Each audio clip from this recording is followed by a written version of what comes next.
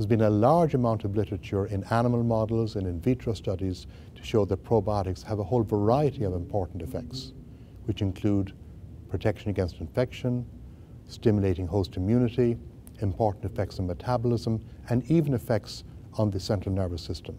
Now, as I emphasized, these have been clearly shown for a variety of probiotic bacteria in animal models. Where we have less data is in man.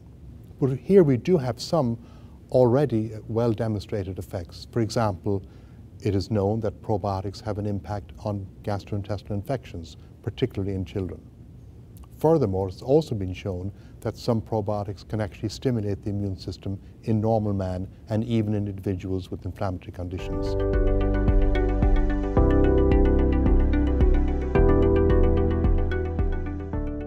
I would emphasize a number of areas.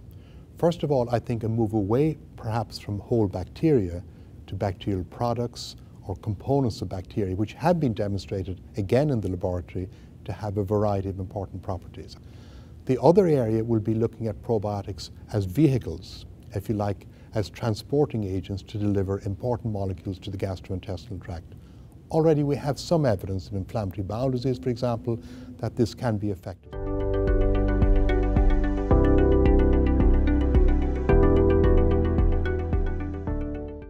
In the past, we thought that only long-term changes in diet, like changing from a vegetarian diet to a meat-eating diet, could have an impact on the microbiota. But now we know that even short-term changes have a very important impact.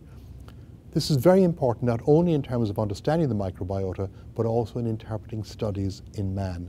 Because unfortunately, a lot of studies have not accounted for differences in diet between different populations.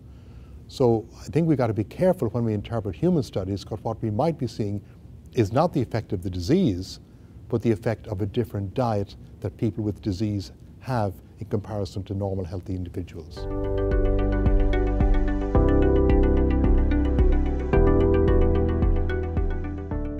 I think so far, you know, this morning we heard a lot of exciting data on the impact of the microbiota in early life.